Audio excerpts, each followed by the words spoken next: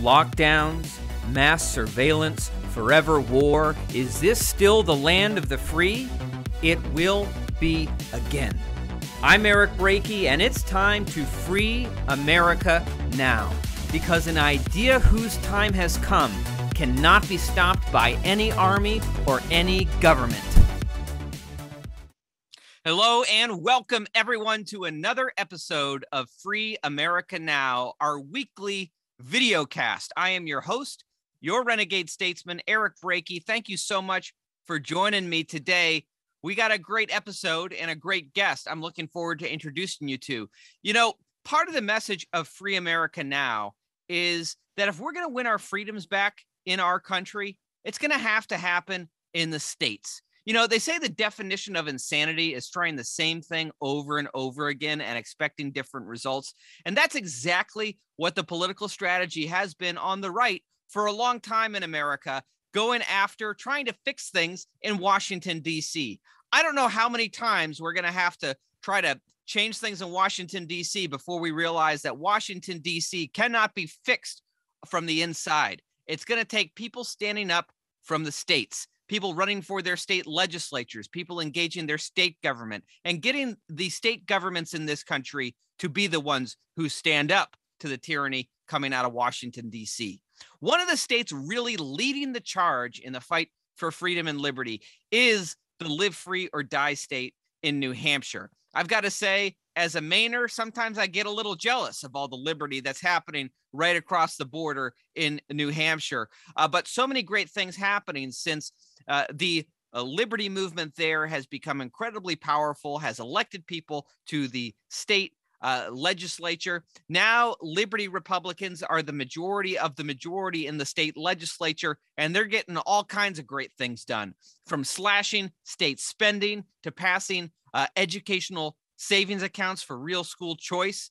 So many great things happening in New Hampshire. And today, I have a friend who's with a movement in New Hampshire called the Free State Project, bringing in people from across the country who believe in that mission statement live free or die to come, relocate, move to New Hampshire, and make New Hampshire the free state it has always declared itself to be.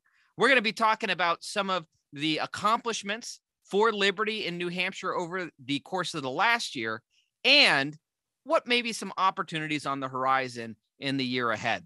Her name is Carla Gericke. Hey, Carla, welcome Hi, back Eric. to Free America Thanks now. for having me. Thanks so much Hey. for having me.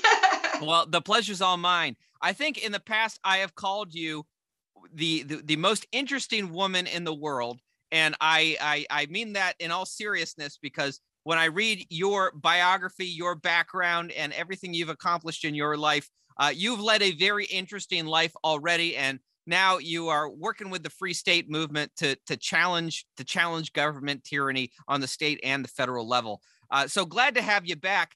I guess uh, you know some may have heard your past episode on the Free America Now audio podcast. And I know we went in depth a little bit on your background and some of that, but could you just tell folks who may be watching uh, a little bit about yourself and how you got in this fight for liberty?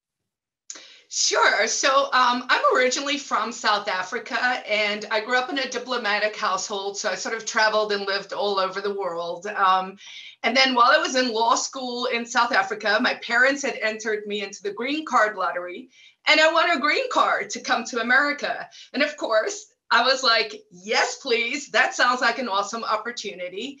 And uh, finished my law degree in South Africa and then got married and moved to America. We ended up in Silicon Valley, where I work for Fortune 500 tech companies as a lawyer. I started out as a paralegal. I had the very typical immigrant story, came with two suitcases. I had $7,000, lived in the Tenderloin in San Francisco in a one bedroom, well, not even a one bedroom, a studio apartment with a bath in the kitchen, uh, you know, junkies, a crack house. I mean, it was the whole thing. Worked my way up slowly but surely, retook the bar, got some great jobs, did the dot com bubble, and then did the bust. And that is where I got interested in Austrian economics. Thanks, Alan Aust- Greenspan. Right? You know they, they they keep creating opportunities for us you know much like the inflation we're seeing now is really going to start to push the crypto markets in an interesting way.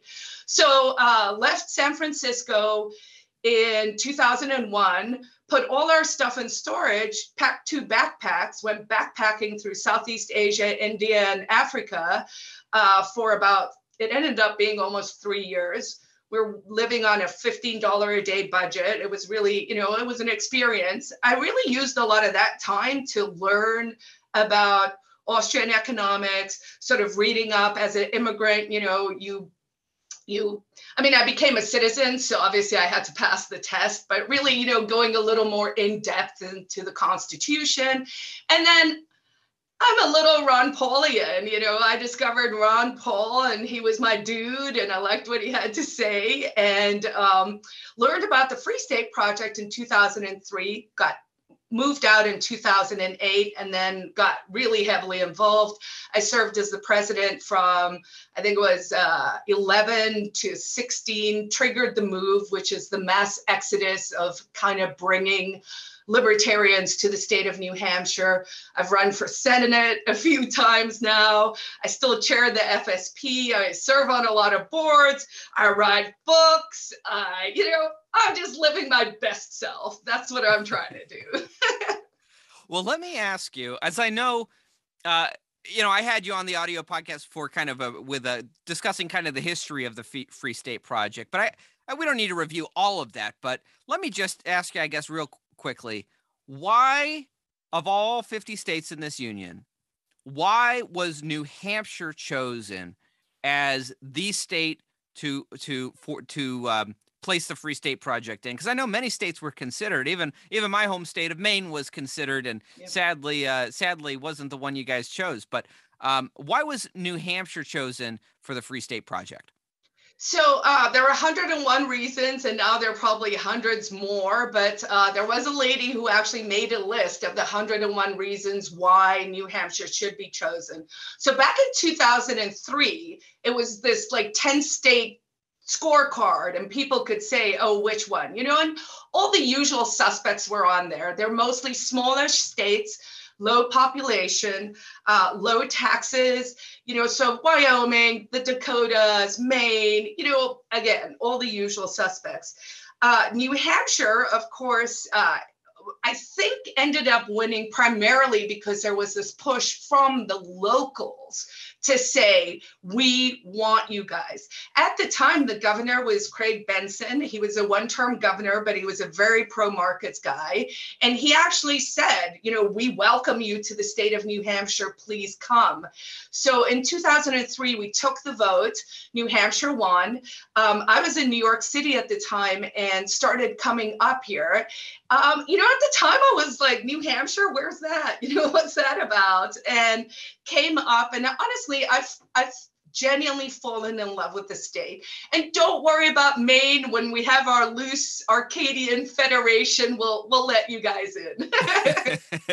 well, I'm I'm looking forward to that. If it if it ever comes time for uh, for divorce from Washington D.C., it'll be nice to know that we've got some f- fellow liberty lovers right across the border in New Hampshire, and we can uh, watch each other's backs.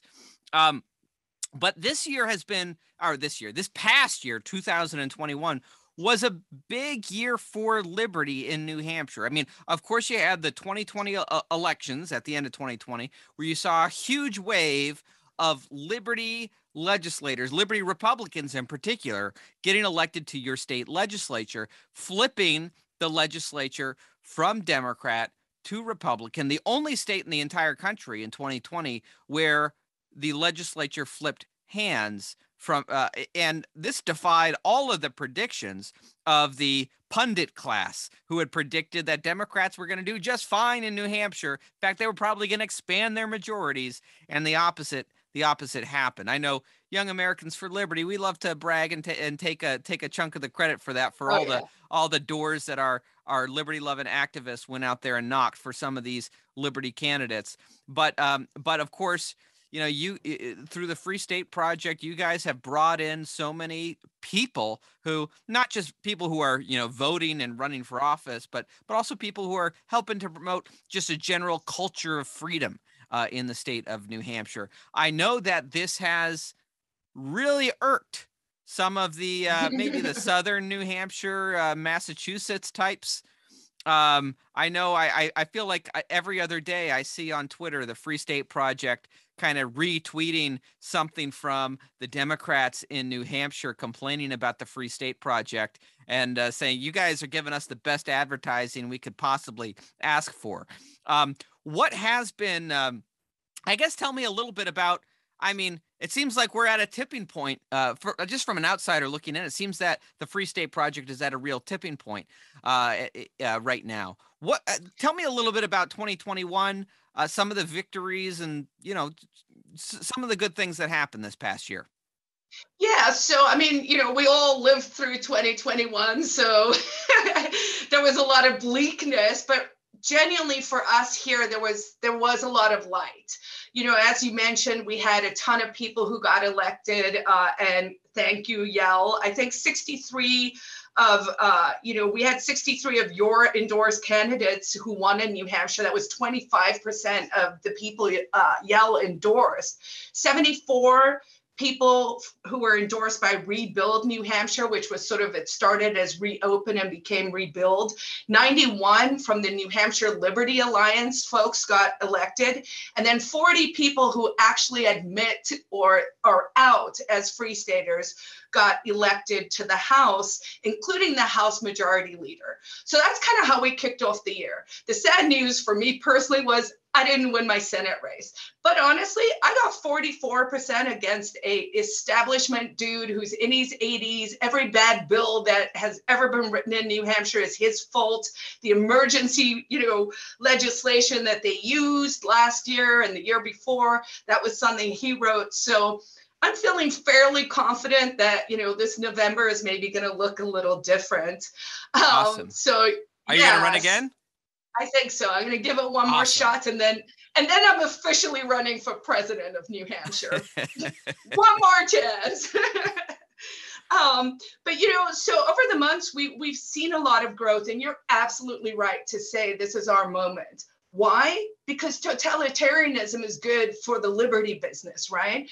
All these people have been awakened, right? The minute you start to have this conversation, and really we are having a global conversation about self ownership, about freedom, right? Maybe not everyone is looking at it this way, but you know, I was in a conference at my, in Miami last week and it was just it was really uplifting to be able to tell people don't just think about the the depressing stuff that's happening. Think about the fact that it is actually a, an awakening or a reawakening that we are talking about bodily autonomy. What are your choices? Can the government force you to you know do things against your will? No of course they can't. So i think what happened was uh, people are looking for answers, they're looking for solutions. And we were just early, right? I mean, I moved out in 2008. The idea's been around since 2001. And it just makes sense that we're growing and, you know, expanding and getting more and more people who are interested. I also think there's an element with technology that we should admit. Um, it's going to be a tipping point because of the censorship we're now seeing, but we're still a little or good enough in the game at the moment to be able to get the message of the Free State Project out. So I think it's it's exciting because it's a solution driven project, right? It's a project, it has the name right there in the name, right? So it's kind of like, what are you going to come make of it? But it's also for people who are sitting at home and kind of going, something doesn't feel right. Maybe I should be hanging out with my kinds of peeps, you know? And so, so I think we're going to see more of that. I, I believe, and history so far tells us this is the case, you know, at the turn of the 18th, 19th century, there were I don't know, they're like 70 nation states, I think, and now we have more than 200. So the trend is towards decentralization. And I posit that why can't we as humans go, different people have different desires, we have different values, and we shouldn't all have to be forced to, to come together. And of course, if you're a federalist, you know that the states were supposed to be these laboratories. They right. were supposed to be able to experiment, and we were supposed to go, wow, what are the good ideas? What are the bad ideas? And let's adopt more of the good and less of the bad. As the federal government grew, and I mean, they're out of control. They're it's bananas. like it's just not good. Okay. You know, I think uh, I think there's this push again back to states' rights, and we're certainly seeing that. I mean, we're seeing it with the discussion about national divorce. We're seeing it with you know Texit, Nexit, Cal exit. Uh, Brexit, even, you know, they went in England, of course, first. That sort of created an opportunity, at least for the discussion. So I think other than in 2008 where we had a really big wave of people who came in. That was my wave. And we kind of called that the first 1,000 movers. And that was very much sort of um, pushed along or, or the impetus was the Ron Paul campaign. Uh, I think that you know we we we surpassed that now. Over the last year, we've had literally thousands of people moving. Mm. In fact, we have a bit of a housing crisis. So you know we have some work to do on zoning because uh, you know we need to be able to build more houses and bring in more people. So it it's been really exciting. Um, if I have to mention like some top things that happened, you know, we're number one in school choice now. We passed an incredibly great school choice bill. Uh, the money follows the child as it is, you know, having served things you know could go a little wrong at the state house so they did put an income requirement on that which we will work to take out this year um, sometimes you can't like, get the sometimes you can't get the whole loaf so you take half the loaf and then you come back for the other half later yeah, and you know, the, the older and grayer I get, the more I'm like, oh, okay, I do see the value in some incrementalism, right? You have to take the wins where you can take them and and and then try again. And that's an important message because you know, I've been doing this for a while now. And as we have a lot of young activists who come in, people can easily get discouraged because they're very optimistic. They try something once, it doesn't work, and then they're like, mm-hmm. oh, I'm never going to do anything again. And it's like, no, the point is we do it once, it doesn't work. You know, it's the whole moving of the Overton window. So, you know, school choice is done really well. We have an extremely robust um, homeschool, unschool community here. A lot, I would say that actually, I don't know if I could back this up, but my gut tells me the majority of Free Staters probably do homeschool. Um, and we have a lot of charter and private schools that are being opened by Free Staters. I believe there are now three, two are open and one more in the works. So that's a great idea. We have a phenomenal education commissioner, Frank Edelblut. He ran against Chris Sununu um, for governor and lost by close to a thousand votes in the primary. So it was close. And, and he got he got Ed because I think Chris didn't want him to run against him again, right? and um, that's one way to get rid of your rivals is put them on your team. sure, right? I mean, you know, we should learn from the best. It's a, it's a strong political family. Papa Sununu's got some, you know, magic. Um, so, so school choice has just been absolutely huge. That's been exciting. But then also, we were the only state that actually cut cut taxes.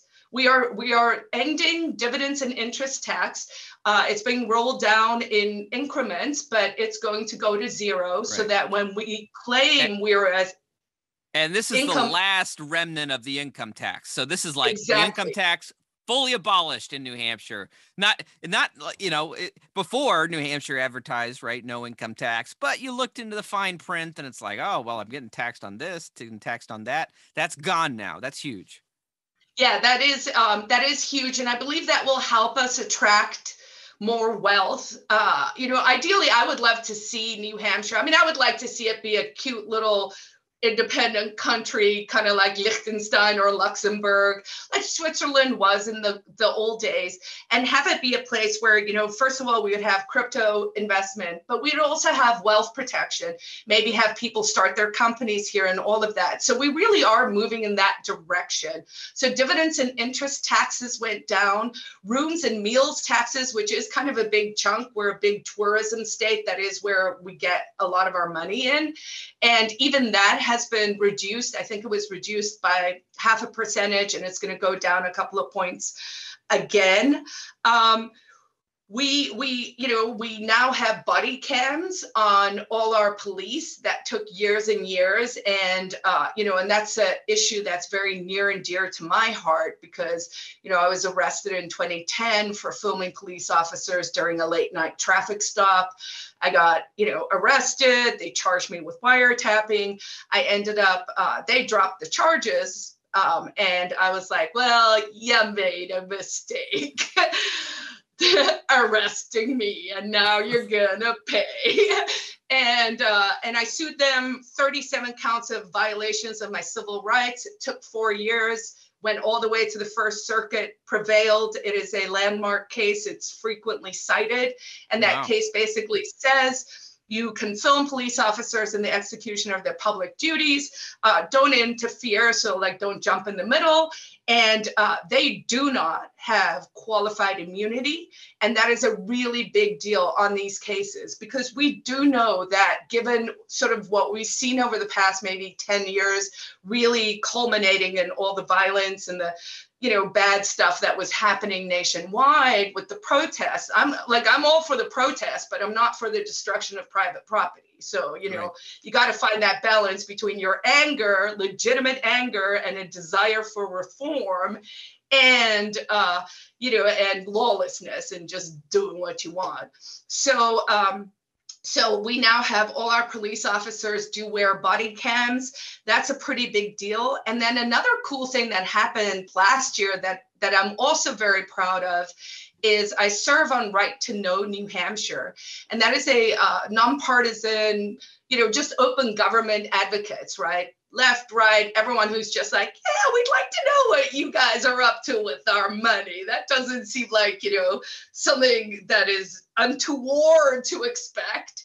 And um, and we had this list here in New Hampshire, which was called the Laurie's List, got rebranded as the Exculpatory Evidence Schedule, the EES. But anyway, in a nutshell, it's a it's a list of uh, corrupt and questionable police officers.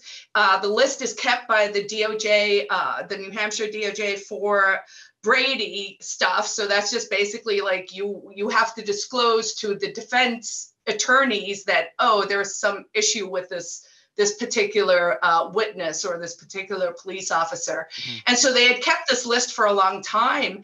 And we actually had a judge who in 2019 ruled that man, this list should probably be public. You know, what? You guys have a list of bad cops. Maybe uh, people should know who those people are. And, you know, they sat on it, fought it, fought it, made personnel excuses, the whole thing. But uh, I think it was the Wednesday before Thanksgiving. So suspiciously, you know, any any news the government doesn't want you to know usually drops right before a big holiday, right? And so they dropped the Laurie's list uh, or the EES that night, and it came out. And so we now have a public list of officers, and people can start to really hold hold their police accountable. I am not one of these people who thinks all police are bad. I am someone who believes in individualism. Uh, but I will tell you, I do think if you rise through the ranks, you're probably getting less good as you go up. And so um, there is work to do on the reform, but that, you know, that was a issue that was near and dear to my heart. So I feel like we are making progress on important issues.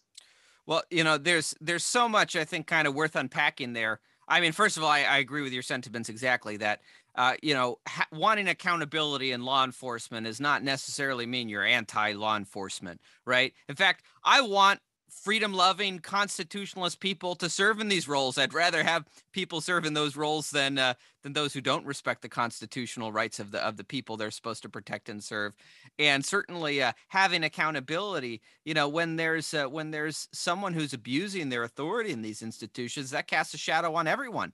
I think it's it's good for law enforcement when there's accountability and when people who are abusing their power are uh, are held accountable. It, it it it allows I think I think it allows the people who are doing their role properly to um uh, to to serve to serve in a you know to serve in a better way without so much uh, uh, suspicion thrown on them for being affiliated with people who are abusing their authority.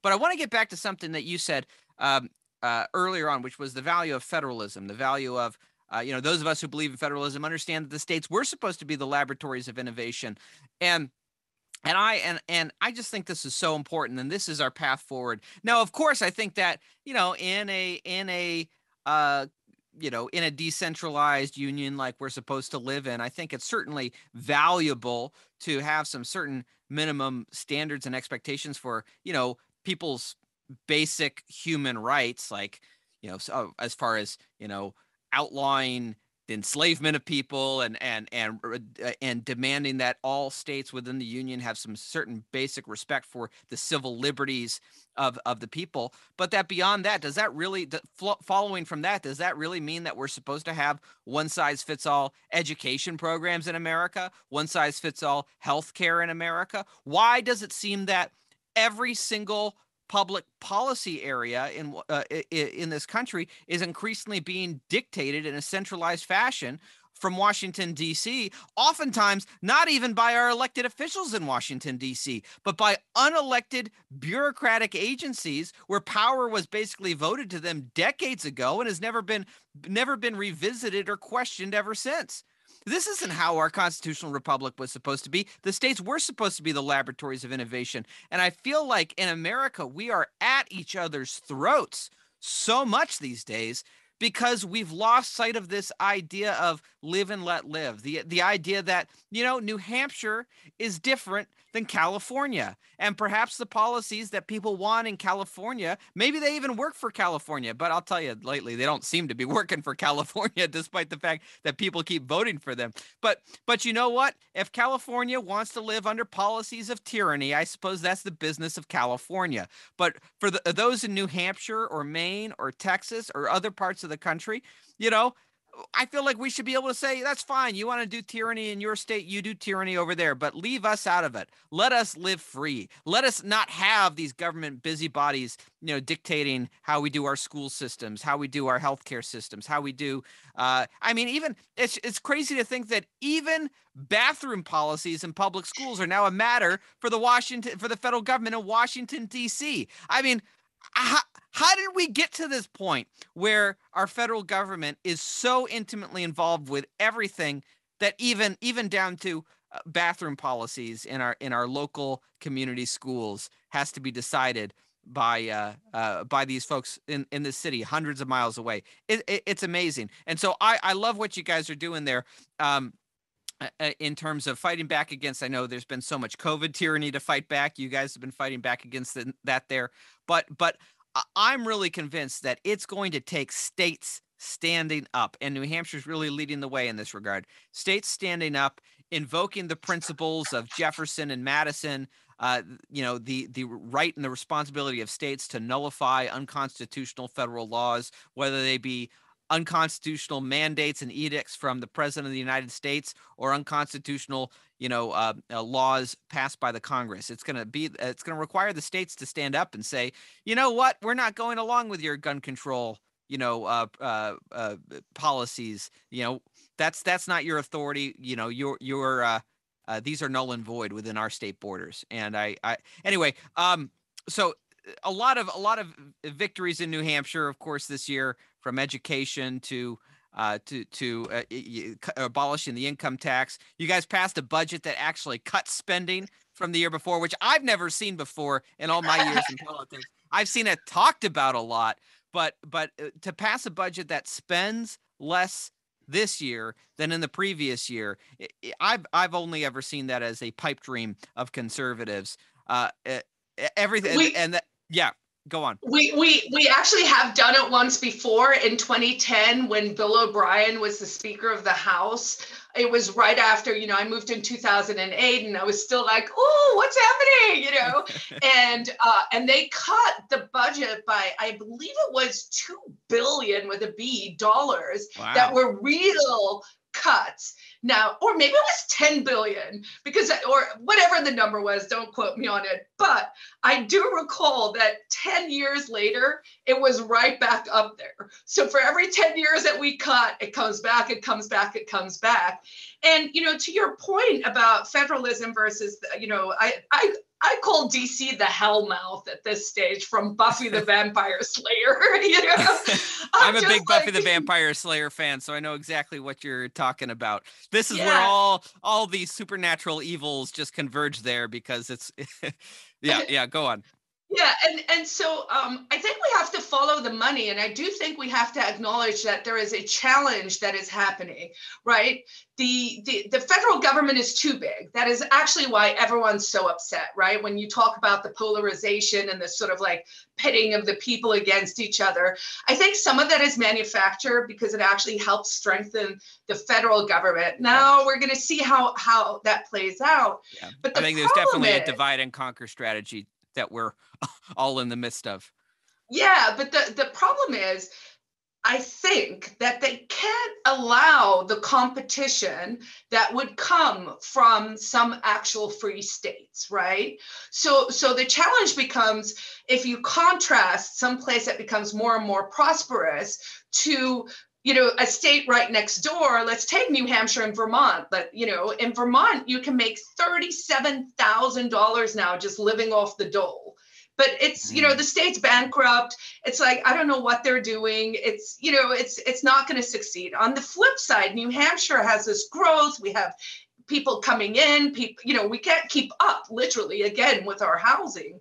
And so I think the challenge, and, and whether this is on the federal level or an actual national as well as international global level, I mean, I, you know, call me a tinfoil hatter. There is definitely a push towards uh, you know a, a, vast globalism. I think they really are trying to you know uh, turn everyone into a little commie. I think they want to put us in pods and feed us insect gruel, and um, and so it becomes in the same way. And a good example would be China, Taiwan, and Hong Kong right? Or, or, you know, uh, look what happened to Hong Kong. They were like, we can't let the outlier stay there with prosperity, yeah. free markets, reducing poverty, making life everyone better. else can see it yeah yeah. So so i think that is interesting and i do think that we have to acknowledge that because it is you know you have to understand your enemy and why they not even i mean the enemy of liberty. I don't regard anyone as my enemy. They're just people who make poor choices you know so they're the enemies of liberty. And um and i think that you know we're going to have to figure out what that's going to look like. Um, an example would have been, you know, kind of what happened with Europe and with Brexit, right? But then COVID happened, and so now we don't really know. Apparently, Boris is just, you know, another one of those politicians, and and so surprise, there we surprise. go again. But hopefully, we can, you know, hopefully we can do some something really interesting and um, novel and innovative and growth oriented in New Hampshire. And then, you know, maybe, I don't know, at a minimum, all those uh, globalists could come park their money here. well, it is interesting. I mean, we, we are at such an interesting time in America. And I know it's in a in a in a time of increasing tyr- tyranny. I, I know I saw uh, the Cato Institute just ranked New Hampshire as the freest state in the country. Uh, and I know, um, you know, I have to imagine it has something to do with, uh, you know, the, the courage I've seen in New Hampshire that I haven't seen in other states, which is to resist the temptation of federal dollars.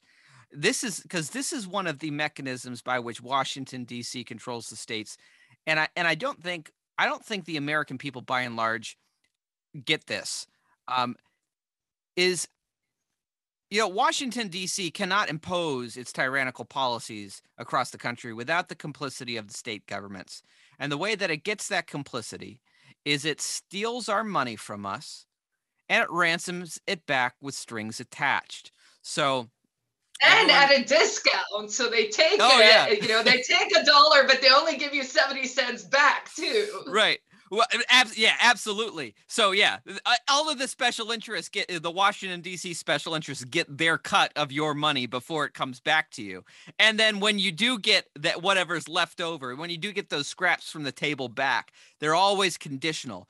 Oh, you want these federal highway funds. Well, you better pass these policies that we say that you have to pass, whether they be, you know, speed limits or seatbelt laws or what with the the drinking age. These are these are all law. These are all these are all policies that the federal government never had any constitutional authority to set. Whatever you think about the policies, someone might like the seatbelt law or the speed limits or the drinking age where it is. We can have policy debates on those sorts of things. Personally, the seatbelt law is a particular, just like I just, it just it just drives me crazy. The government, I'm for wearing seatbelts. I'm all, uh, hey, you know, I think you're stupid if you don't. But at the at the same time, I don't like the government sticking a gun in your face and saying you better do this for your own good or else. Um, and that's, of course, what's always behind every single government policy. There's always a person with a gun threatening consequences if you don't do what you're told. And that, hey, that's fine by me if we're talking about protecting life, liberty, or property. It's not fine to me when we're talking about doing things in your own personal life that affect no one other than yourself. But New Hampshire is the only state in the entire union that to date has told the federal government to take its money, that's because really our money.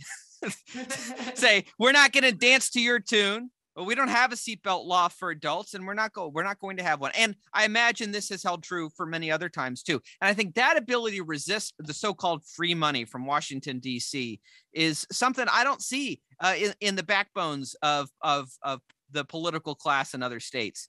Uh, and of mm. course, it's we talk about seatbelt laws may seem silly, but they're trying to do this right now with red flag gun confiscation orders, mm-hmm. saying if you want federal funds, you better have a law in place that allows state agents to confiscate firearms from individuals not charged with any crimes with no due process of the law. They're trying to pass that in Washington, D.C.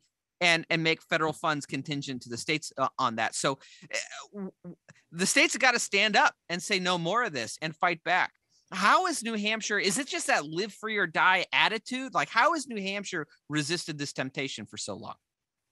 Yeah, I mean, sadly, given the COVID situation and there was a lot of money that came in, New Hampshire's always been a net payer. So we were paying yeah. more to the federal government than we ever received back.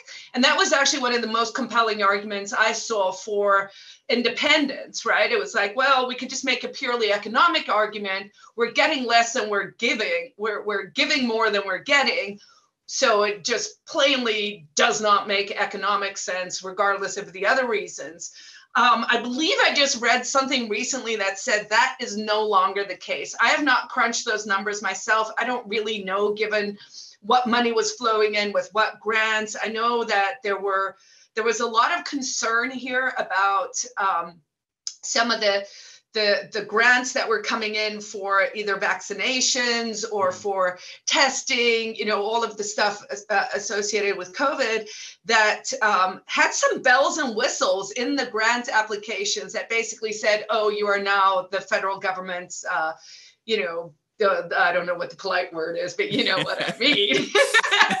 and you now have to so, do what we tell you. Yeah.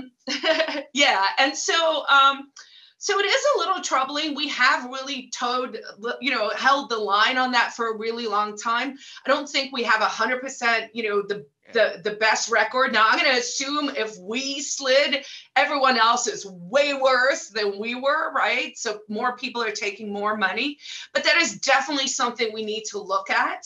Um, one of the really cool things I think that's coming up for for this legislative session is a constitutional amendment that would be put in front of the voters. So, um, and it's called CACR 32, I believe, and it is an independence bill. It's it's uh, suggesting that we should amend the New Hampshire Constitution to just peacefully go our separate way from the federal government. And I'm sure to some extent it's just an issue of starting that conversation as a more formal thing than me just, you know, going around the country talking to random people yeah. about it. But um, but you know, it's interesting. Again, when I was at that conference in Miami, people were like, "Well, but what if it passes?" You know, because I was like, "Don't worry, it'll take ten years. You know, we have time, and we can figure out the details, get the policy right, make sure we're you know energy independent with some nuclear like there's a lot of exciting things we we can and should be doing. Um, but then someone was like it's been really weird politically. What happens if this just passes? And i was like if that is the will of granite staters then let's do it right? There's nothing undemocratic about what we're suggesting. You know fact, we're saying, very democratic 100% right? I mean i think you know the pushback would really come from the federal government but it's a bill that would put it in front of voters uh, we have passed several constitutional amendments in the 12 13 years i've been here including a really good privacy bill that has to do with information and government interference in our personal information which i would love to see a lawsuit get pushed on some of this uh, you know vaccine tracking and all of that. Um, I should also mention one of the really good things that came out of 2021 was we do have a no vaccine mandate uh, ban. So, so we can't have forcible vaccinations. Uh, you can as a private company and as it should be although like my freedom part doesn't really like this because i do feel like we're using private companies or the federal government is kind of strong arming yeah. private companies to do their dirty work for them. Uh, but the private companies can still have a mandate as a condition of your employment. The hospitals have done that and uh, they have done it with healthcare. But everyone else cannot, you know, they cannot institute a, a um, you know, bear with me, a supercalus fascist risky and experimental doses. Wait, supercalifragilistic fascist risky experimental doses with a spoonful of sugar. so, um, so that was a big win too. Uh, but because the federal dollars are attached to that, I think things got a little murky, and we're going to have to parse yeah. that out. You know, I, I I'll say, you know, here's one idea I, have I've been pushing more and more, and I've been talking to some of my state legislator friends across the country about about this idea. Um, you know, is um, standing up to to the federal government through a form of tax nullification. I remember reading just I remember reading Tom Woods' book Nullification years ago, and it was like such a little. It was almost like just on one page. It was like a throwaway thing, but it but it just like it something clicked in my head, and I thought this is kind of a brilliant idea. Maybe it wouldn't work. Maybe I, I don't know. I think you'd have to have a couple states doing this together to stand up against Washington D.C. But the idea would be, what if, let's say, let's take the state of New Hampshire. What if the state of New Hampshire passed a law saying the people of New Hampshire no longer pay their federal taxes directly to Washington, D.C. They pay their federal hmm. taxes to the state of New Hampshire that holds it in trust. Well, there are legislative committees that review the federal budget and review the items in the federal budget on the basis of constitutionality. And then we will pay to the federal government that percentage, which this legislative committee finds to be constitutional. So powers exercised within Article 1, Section 8, or some other, you know, place in the Constitution where they're actually explicitly granted these powers to do these certain things. Um, you know, hey, hey, we're not going to pay for an unconstitutional war in Syria that Congress never declared. We're not going to pay for unconstitutional one size fits all education programs that just, you know, funnel billions of dollars into bureaucracy and send only the barest minuscule amount to, to classrooms. No, we're not going to pay for that stuff. And then what I like about this idea is that it puts the state in the position of the federal government can't threaten to withhold your federal funds because you've got the mm-hmm. federal funds. All right. All right. So you're not going to fund our highways. That's that's fine. We'll fund our own highways. And you know what? Uh, we'll we'll supplant the we'll supplant the money that you threaten to take away with us with these with these funds, and then we'll send the rest back to the people that you wanted to steal it from. Um, uh, love it. Love it. Yeah. Let's do it. Let's. I'm. I'm making a note. Tax nullification to go with all forms of nullification. maybe, maybe, maybe 2022 after we get this new kind of wave of uh, the red wave, uh, putting liberty legislators into the state capitals across the country. Perhaps we can have a renewed effort, uh, you know, across the states for something like that. But uh, I, there are so many ways that we need to fight back against the federal government, and I am just, I'm just, you know, it's great in so many. We've you know we've got liberty legislators in 37 states now, but nowhere do we have the uh, nowhere is there the critical mass like there is in New Hampshire. And I'm just I'm just uh, amazed every day the infrastructure the, the the infrastructure that you all have built up over the course of the last 10 years i remember going to my first you know porcupine freedom festival you know in 2012 right after the, the ron paul campaign and it was just packed with people from across the country you know coming to new hampshire this vibrant liberty community and after the ron paul campaigns that seemed to die down a little bit mm-hmm. but geez i went back to PorcFest this past year and this was the first year that you guys sold out completely. And here's what I love I, I, love the community. I love the fact that when I go to the Porcupine Freedom Festival, it's people who love freedom and liberty. And that's the common denominator. Culturally, I mean, I, I've talked with people there. I've tra- talked with people who are you know, transgender activists who we would think much more kind of like on the left socially. And I say more power to them. I'm glad that they're in this movement. And I talk to very, very socially conservative Christ- uh, Christians who are there too. And I say more power to you. I'm glad you're in this movement.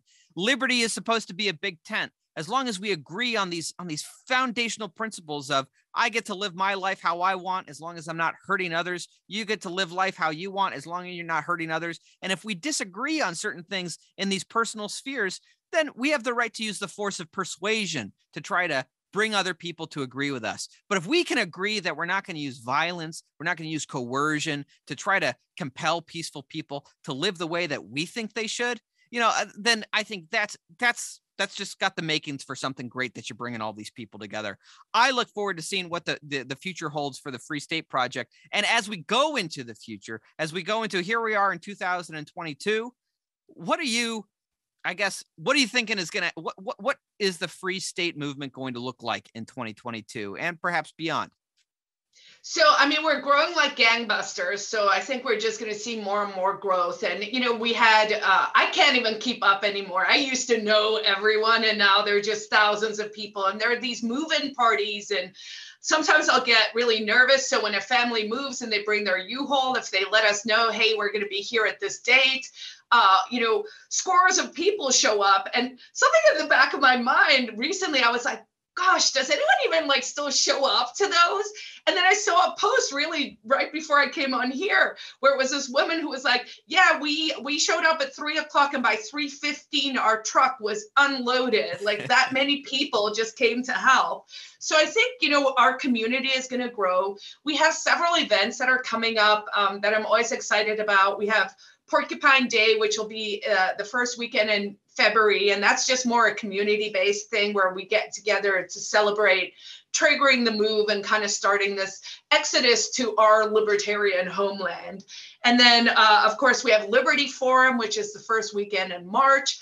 That's a little more suit and tie. Uh, you know, it's a hotel conference. Uh, great speakers, Corey DeAngelis, you know, school choice, money. Um, budgets, like all the nerdy, wonkish policy kind of stuff. Um, uh, but also community and meeting people and just networking and sort of you know building building our our, our tribe.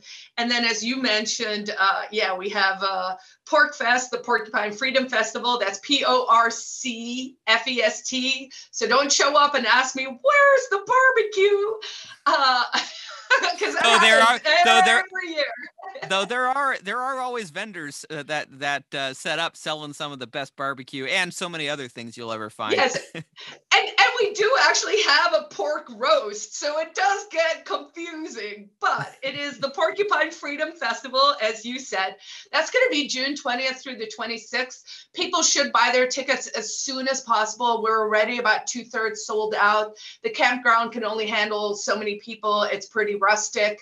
Um, I encourage people to buy their tickets and then start to look at hotels around, come camp if you can, find some Airbnbs in the area. I have heard vastly wild rumors about who's going to be showing up, but the names I've heard is everything from, you know, Alex Jones and Tim from Timcast and uh, maybe Joe Rogan. I know Luke Rudkowski, will, will, you know, is always there and will come back. Um, so it really does sound like, you know, if you're ever going to come to one of these, this would be the year to come. That's a good um, reminder. I got to get my ticket before it's too late. you know people well no, um, it was it, it, it was it was actually this, this was this was great when i went to PorcFest this past year it was um i i got my ticket but the, all the campsites were were kind of booked at a certain point and i was like oh no what i'm going to do? I should have moved on this sooner. I just put out the word like hey has anyone got an open spot on a campsite? And like within minutes i got like i've heard from a, a you know half dozen people. I end up you know matt kibbe of free the people nice. and his whole clan kind of took me in for for the uh for for for the week and uh it was anyway and of course they'll be back and they're going to have this huge hub and sort of one yeah. of the things we've done this year which or uh, dennis pratt who's been organizing it doing a phenomenal job he uh, he sort of came up with this notion of if we invite other people who are doing cool things to come do little islands of their stuff on the campground now suddenly we have you know a festival that's primarily self-organizing and um, and people are doing what they're passionate about. So you're doing your passion projects you're meeting people. So free the people will be there again. I'm hoping dave smith and robbie will come out again. Lou perez will be out. Uh, i'd love to see more comedians. I think you know uh, politics is downstream from culture. We've all heard that a million times. Uh, that's why I write books. That's why you know I talk uh, and go on the road and all of that. But I think we need more comedians. And you know, face it. I mean, totalitarianism and the the cognitive dissonance and the irrational, illogical, bananas, crazy stuff we've gone through. I mean, the material just purely writes itself at this stage. Um, and then, so those are sort of the social things and the stuff that, you know, we're just doing community wise. But then we also have, you know, I think we're going to see some interesting things in the legislature. And I think we're going to see the most free staters and liberty people run who have ever run.